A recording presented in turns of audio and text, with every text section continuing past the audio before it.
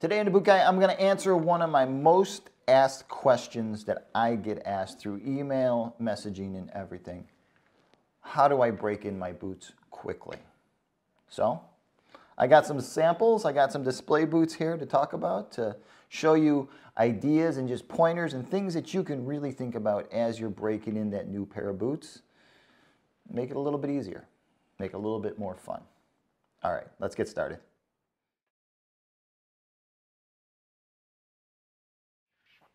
All right, first and foremost, first you have to diagnose the problem that you're having when it comes to breaking in your boots because there's so many different types of boots.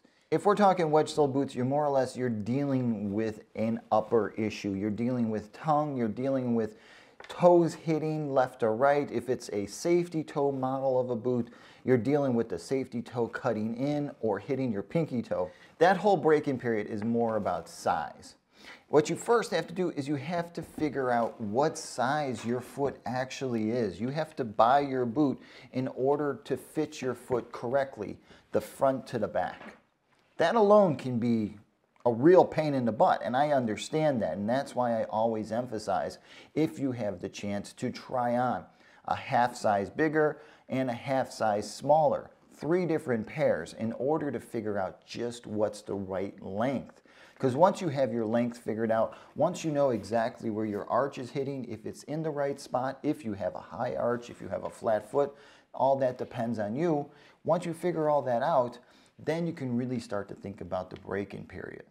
Now, truth be known, when it comes to breaking in a boot, if they don't fit correctly front to back, if they don't fit in the width right, there's really nothing you can do. You're basically, you're screwed. You have to make sure your boots fit you 100% correctly, just in the shape of the boot of where your foot is sitting before you can get to this point. So, now that you've decided that your boots fit you correctly, now that you know that you've got the right size, the right width, let's talk about the actual question, how to break in a pair of boots. Now there's a ton of people out there telling people to do some really stupid things when it comes to breaking in their boots. First off, a lot of guys say with logger boots and lineman boots, soak them. Go soak your feet in the bathtub and go take a five mile walk. You know what, if you're into torture, if S&M and bestiality is your thing, yeah, you know what, that might be a really good way to break in a pair of boots because you're gonna have blisters, your feet are gonna hurt, your knees are gonna hurt. If you're into that, that's a good way to do it. Forget about everything I'm saying here, just stop this video and go soak your feet in the tub. But if you're a regular guy and if your feet make you money, so you can't really run the risk of having sore feet for three or four days when you're trying to get a job done, well, let's talk about breaking in boots the correct way. Now, first and foremost is understanding the tongue. Now, if you're buying waterproof Gore-Tex boots, like this Danner here, this is a Gore-Tex lined hiking boot that can double as a work boot, but primarily it needs to be worn in a hiking outdoor setting fishing, hunting, outdoor photography, whatever you're doing, this boot is ideal. Now, this Thorogood here, I can, let me show you this new one. So this is what a brand new one looks like. And all three of these boots, all these boots actually have gusseted tongue because everything around me is waterproof. And I guess before we go any further, I'm really talking about work boots here. I'm not talking about casual dress boots. Breaking in a pair of casual dress boots.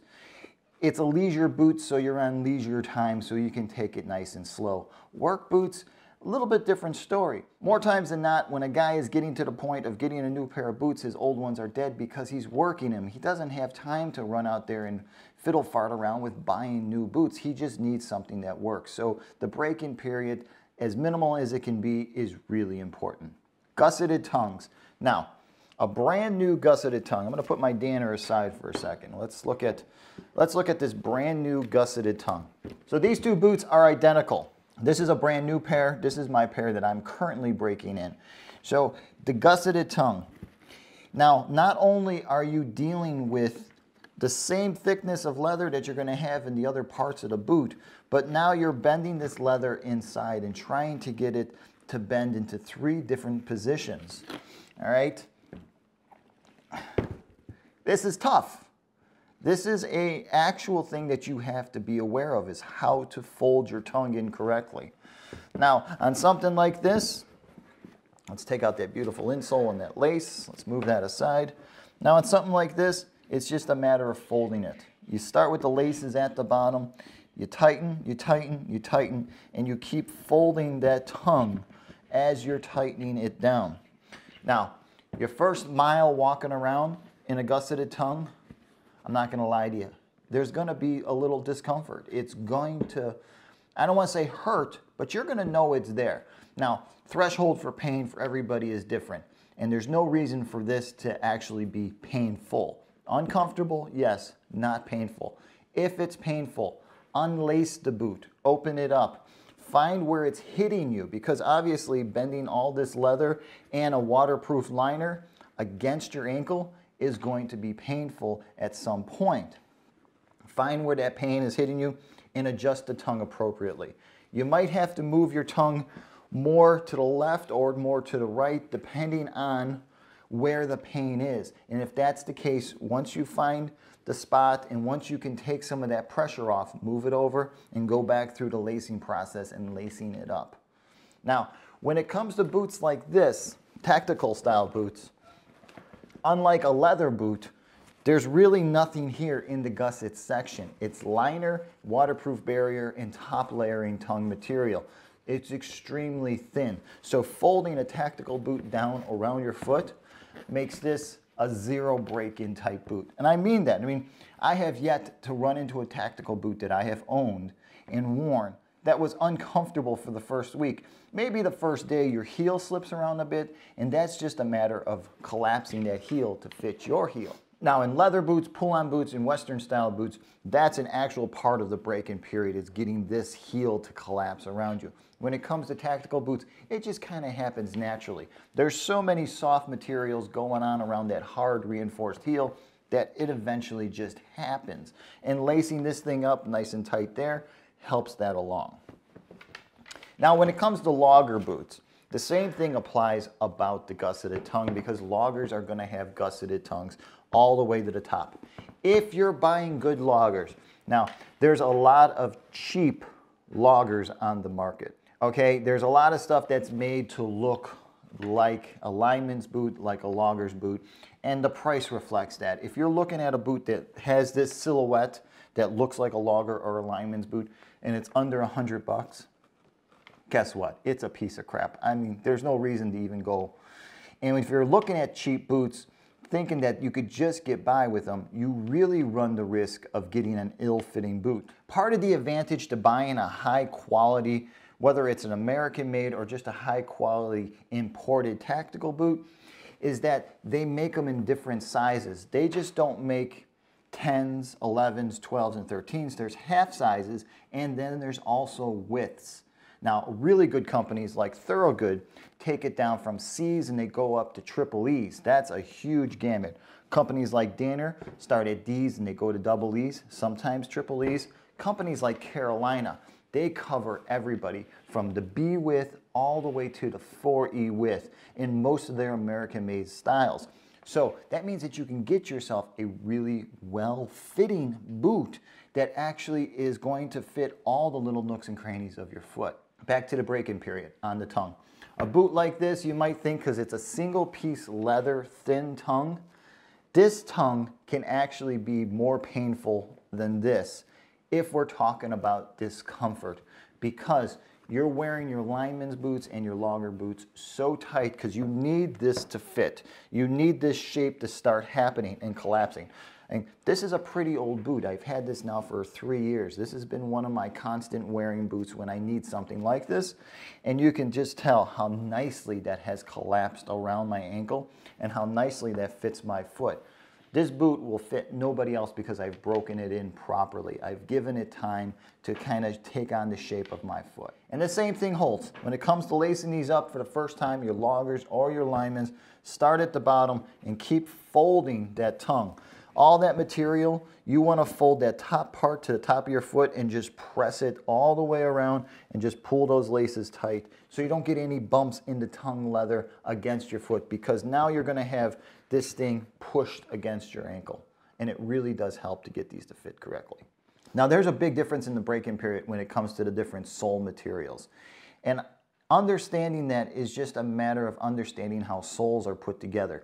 Something between a direct attach glue construction and something like a welted, glued together soled boot, the break-in period is going to be a lot different. Now, direct attach glue construction, it's always going to be more comfortable. The whole idea of building a boot in different little parts like that, getting that material to be injected and molded around the upper is all about comfort. So if comfort's your thing, you should really try to avoid welted boots because you're, you're going to get them comfortable, but it's not going to be around the same time frame as something that is made in many parts and through chemistry. So these are two really good examples of soles that are actually comfortable but have different break-in periods because of the type of sole they are. Now, oh look at that, I got a pin stuck in there. Huh, interesting. Now this is a classic Vibram Kletterlift sole. This sole has been around for a while. This is the standard when it comes to hiking boots. You have a really hard material sandwiched between a soft midsole that is then sewn down on a full leather welt. Now, this is a tough break-in period for sole compound. This whole boot is a tough boot to break in because not only do you have the gusseted tongue that comes all the way to the top there, but you've got a lot of heavy-duty leather, you've got a thick waterproof Gore-Tex liner, and you've got a really heavy-duty upper that is built properly. Now, this is the Maxwear sole from Thorogood. Super soft, super long wearing, great sole. Out of the box, it's flexible, it's ready to go, it's soft, it's bouncy. The whole thing about building a boot like this in this old classic style of a wedge boot is that it's comfortable. And they are. The only thing you really have to worry about is getting the tongue in the upper and the size to fit.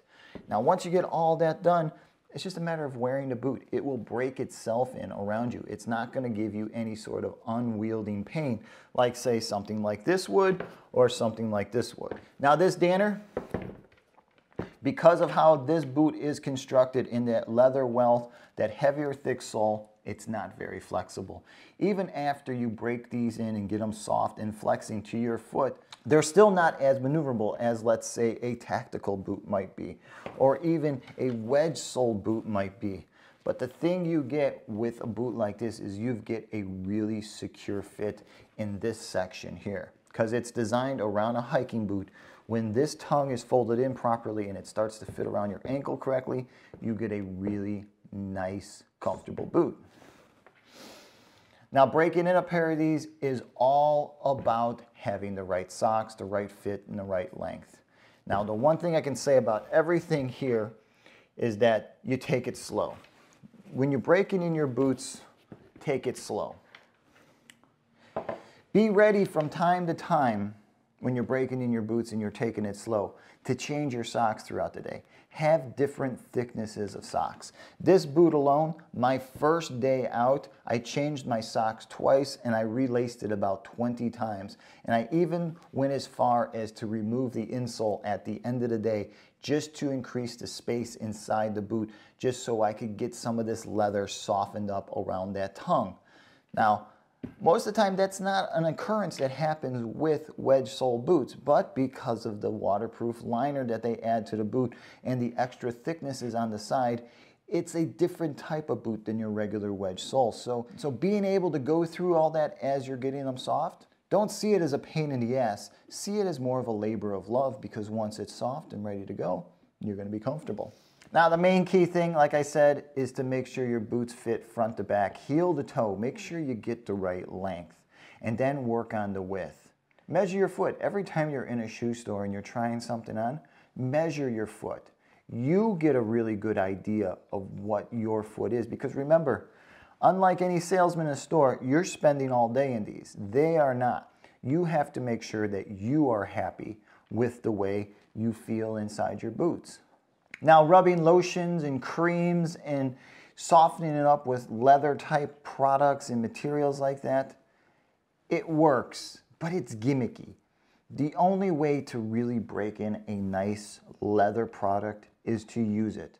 If you're breaking in a nylon product like a tactical boot, the best way to do it is to use it. Once you understand that it fits your foot in length and width, then it's just a matter of you getting used to that new space. It's like moving into a new house or a new apartment. Your foot has to get used to all the little corners, all the extra room, all the lack of room compared to your older boots. All these little things have to come into play. Once you got all that figured out, breaking in your pair of boots should be a labor of love.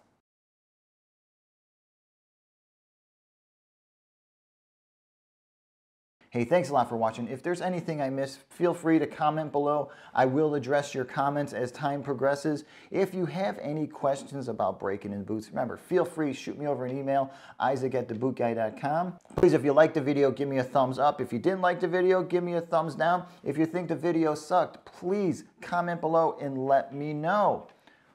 Don't forget to hit that subscribe button, and thanks a lot for watching.